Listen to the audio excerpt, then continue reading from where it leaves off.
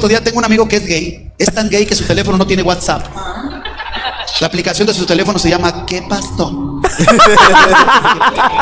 Me dijo, ay, fíjate que yo, yo después de tanto fútbol quiero ser portero. Ya, quiero ser portero. Dije, no, espérame, espérame. Mira, yo fui portero profesional de fútbol y la verdad te rifas el físico en los pies de los contrarios.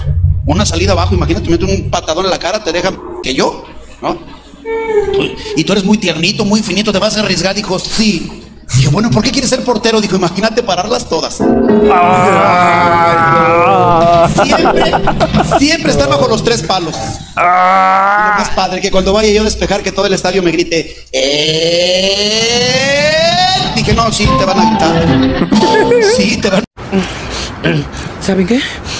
Son unos depravados.